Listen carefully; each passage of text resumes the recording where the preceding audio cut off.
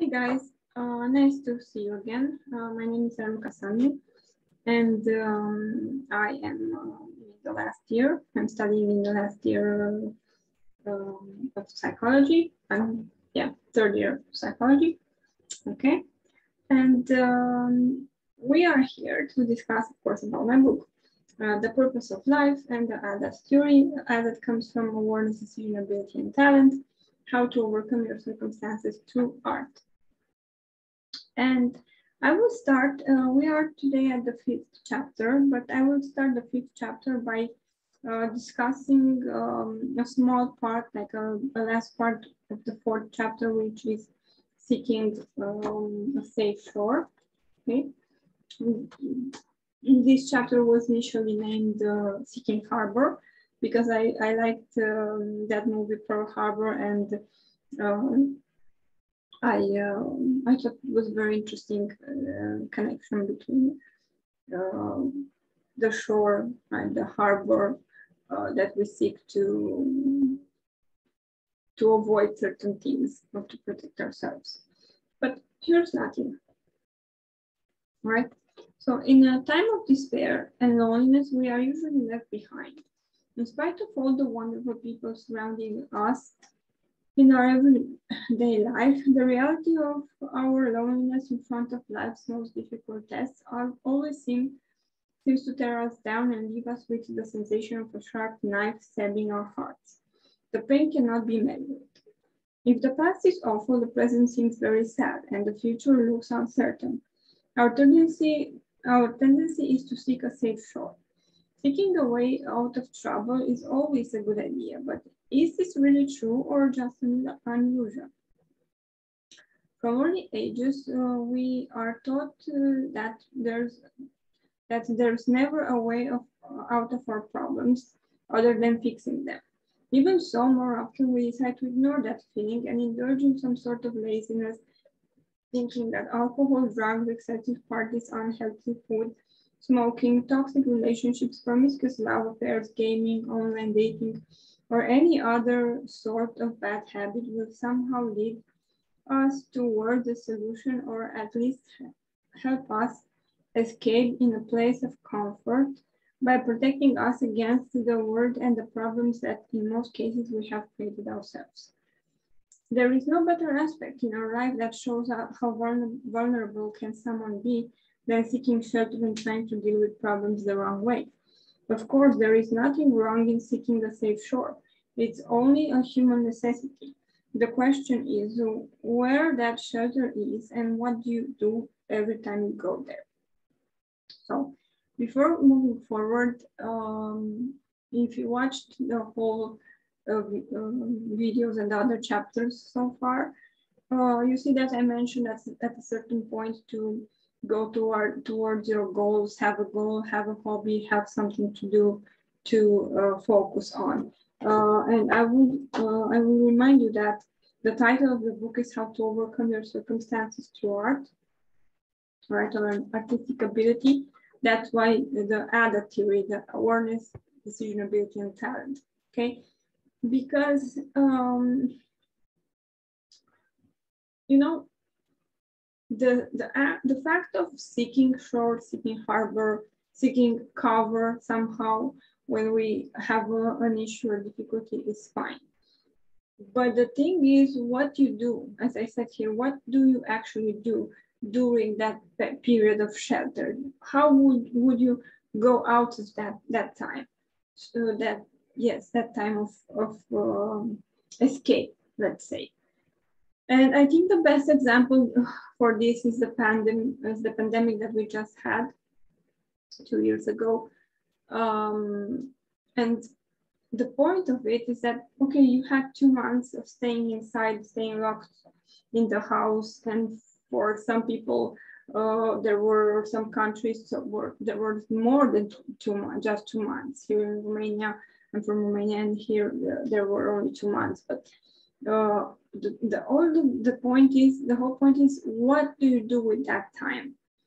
That stagnant time how you come out of it? Um, how you pass that time of distress okay? So um, let's put them a little bit together. Have that cup of tea or coffee or whatever, get a hobby, turn it into your goal, and um, make it your shore, your safe harbor uh, that you use to recharge uh, and uh, fill up your cup again. Because, okay, the pandemic was just an example. Um, and um, it was a time that we could use to cultivate uh, our hobbies and to cultivate something at, at least to come out of that isolation um, for those, of course, who were healthy and were not um, ill, uh, to come out of that uh, isolation um, with a finished product, let's say, with something that we did useful for us. And if there was a case of an illness, when we recovered and we feel a bit more empowered to do things, uh, to try to refocus and readjust and have that something to do, that goal, that hobby, that thing we should focus on to uh, go over, to get uh, to go above um, the circumstances that we had. So that's the whole point of seeking a, a safe shore. You know, most people uh, in periods and times of, of stress and issues, they go to drugs, they go to uh, to um, alcohol, they go to all the toxic stuff that, okay, mm, maybe you you need that to go through to to uh, pass uh, that uh, time of distress, but unlearn that habit to go to the bottle. You know, I like where Simon Sinek had a video where he said, okay, during your adolescence, you um, um, you learn to go either to a human being, um, the bottle, the drugs, the technology, or to whatever uh, thing uh, helps you to cope with distress and with that anxiety and uh, all those feelings. And the thing is that most of us learn to go to the bottle, to, uh, learn to go to drugs, learn to go to uh, whatever thing is unhealthy, and that becomes our adult coping mechanisms in uh, in a difficult situation. And the whole purpose of coaching and therapy and books and good habits is to unlearn uh, those uh, mechanisms and turn them uh, or switch them, uh, better said, uh, from drugs, whatever the kind of drug would be, would that be? Either food could be also some sort of drug, and turn that into a hobby.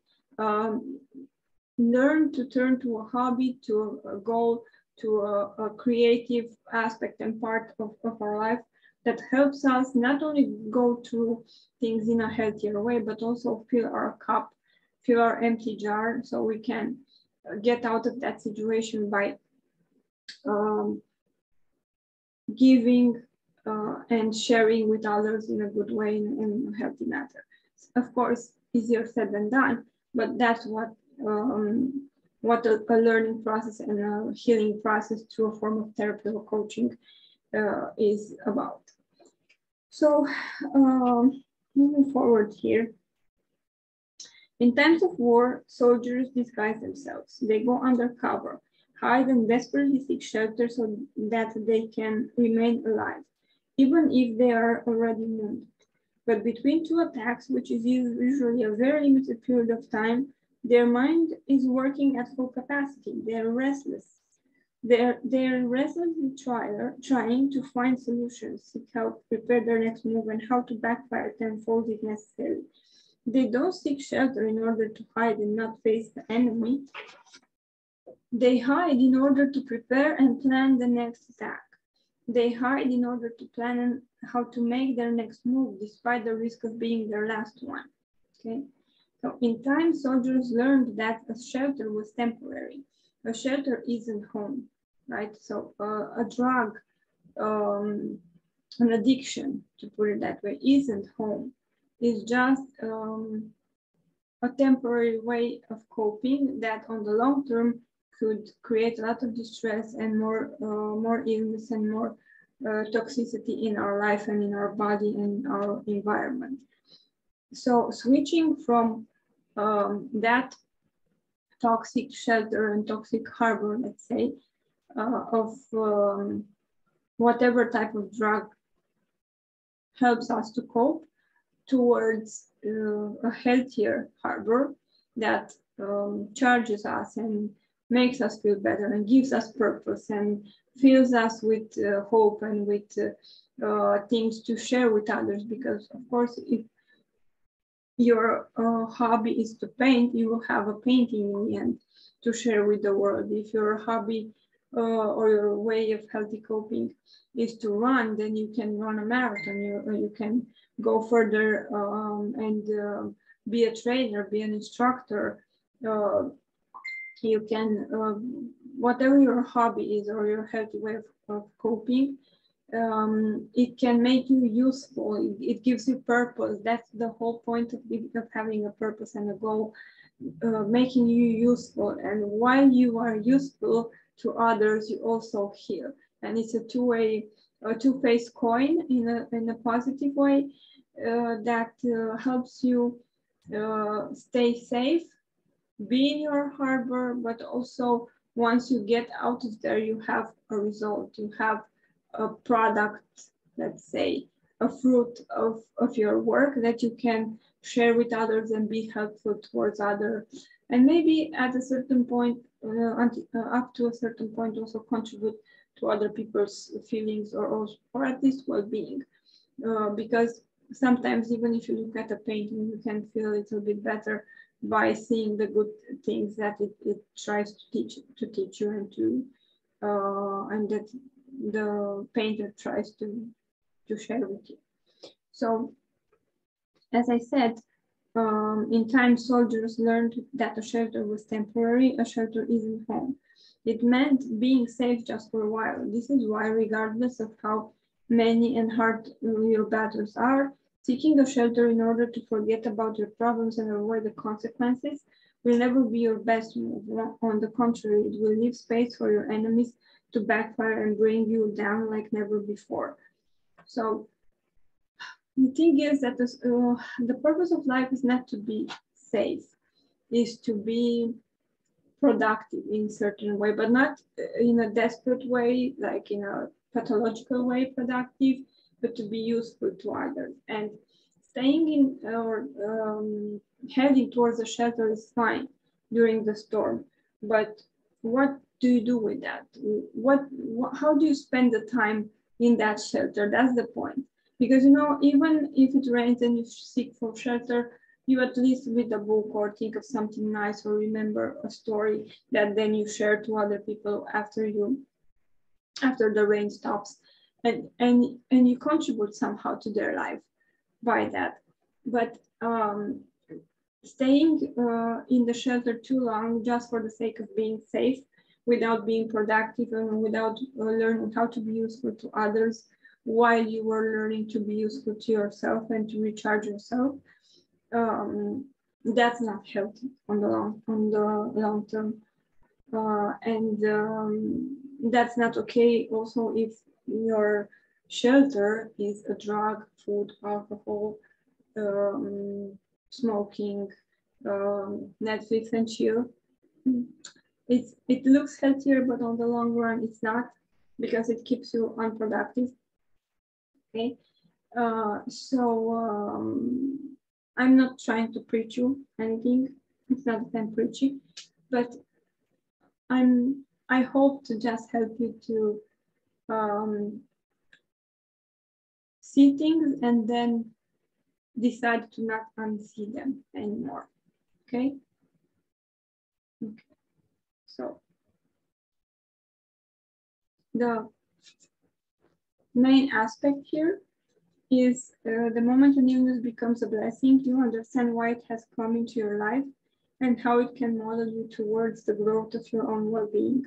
Once you understand that an illness can be your teacher rather than your killer, only then will you begin to hunt for whatever your higher aim is or the lesson you need to learn. Only then you will heal. Okay? Um, thank you for being here. And um, don't forget that you have the um, the books, uh, the link to the books in the description. And um, get your copy, stay safe, stay healthy, and stay focused. See you soon.